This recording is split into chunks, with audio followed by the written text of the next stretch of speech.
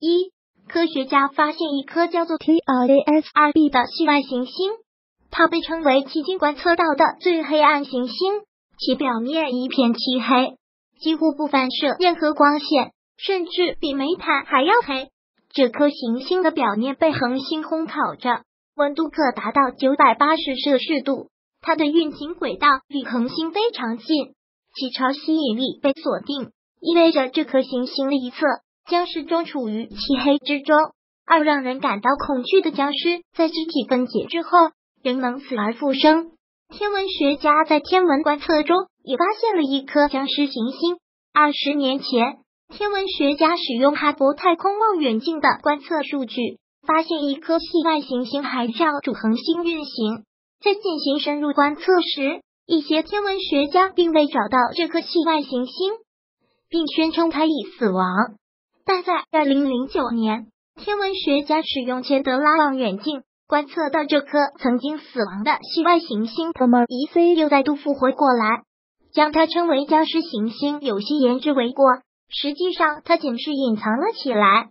三，当这颗行星系外行星 HD 二零九四五八 b 近距离盘旋接近其恒星时，强大的恒星风撕碎其大气层，形成彗星状的尾部。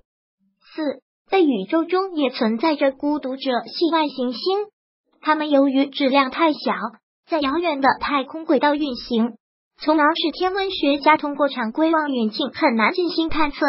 然而，有时天文学家将非常幸运，能够发现罕见的太阳系外孤独者。他们是超级地球，能够距离很远地正常环绕主恒星运行，且很难被观测到。但是，基于广义相对论，当从地球角度进行观测时，十倍地球质量的天体能够扭曲时空，从而足以聚焦主恒星光线。该现象被称为微透镜事件。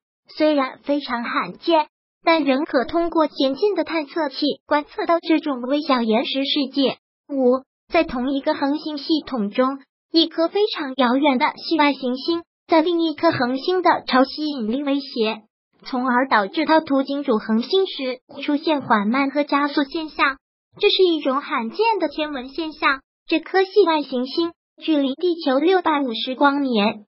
环绕一颗叫做 Kepler 幺九的类太阳恒星运行，该行星被称为 Kepler 幺九 b。它拥有一个非常奇特的轨道，有时会加速，在七九分钟轨道周期中快五分钟；有时会减速，轨道周期慢五分钟。如果喜欢本视频，请分享并订阅本频道，访问 tt news 点 xyz 获取更多相关资讯。